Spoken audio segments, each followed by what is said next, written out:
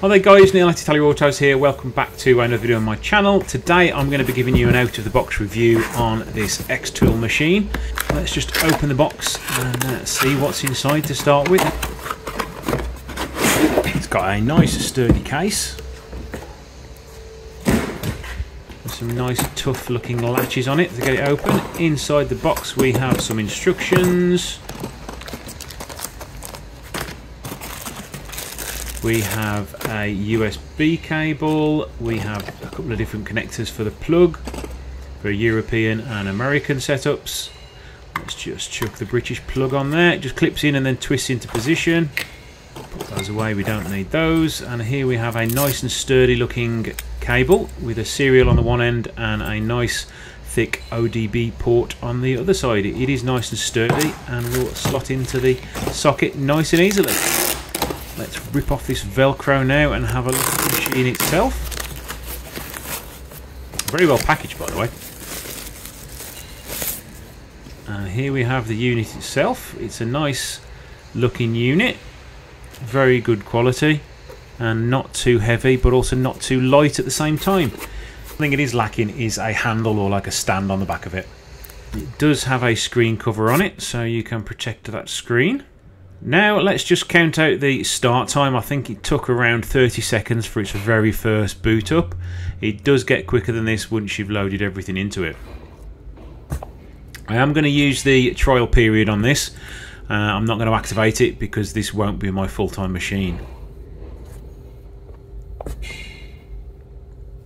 Looking in the menus, you can use it as a tablet, so you can access the internet. You can also view videos and view images on it. On the main screen itself, you've got special functions, you've got report, remote control, auto scan, auto scan, diagnosis, update, settings, and more. In the more folder, you would just say Xtool. On the main menu button there, you can change all the settings. You have the internet here Obviously I'm not connected to Wi-Fi at the moment. We have a folder to view the files on the system, which there's not going to be any in a minute because I've not saved anything. I would imagine you can connect a camera to it and things like that so you can um, do diagnostic work using cameras and um, remote controls and other gubbins you can buy to go with it. Uh, the main things it covers are here. You've got everything you could possibly imagine from automatic transmission code reading, power steering resets, oil light resets, tyre pressure monitoring and injector coding so it will do everything you will need it to do pretty much out of the box.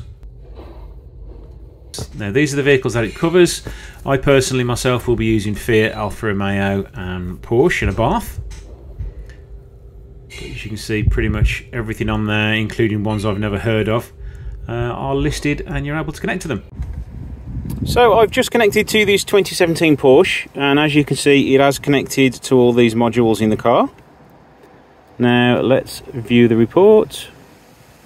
We've got one adaptive cruise control sensor misadjusted so that needs uh, sorting out which I knew about and everything else is all clear. Let's just clear the full codes. As you can see now they've all gone. Let's exit the automatic scan Let's see what else we can do. Can we connect to the transmission? Yes, we can. It's actually quite quick.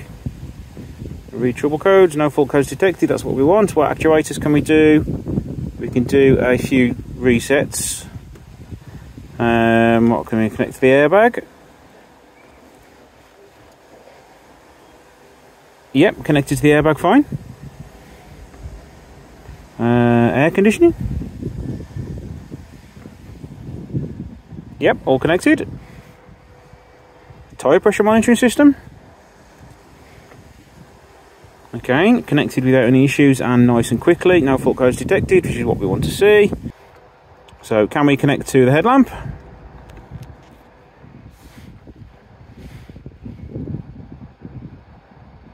Yes, we can. Uh, adaptive cruise control, no. Front camera. No fault codes detected. We can read the ECU fine. Lane change assist. We haven't got that installed, so that's why it won't connect to that one. Adaptive cruise control. There you go, no fault there. So overall, I'm quite chuffed with this unit. It's uh, very quick. So that's just a quick going over of this unit. It's actually really good. It's very fast. The unit is very sturdy. The screen is very clear. For the price point of sort of a professional scanner, I think this is actually priced pretty well. So if you are interested in buying one of these, have a look in the, the link in the description below. Uh, thanks for watching, and I shall see you in the next video.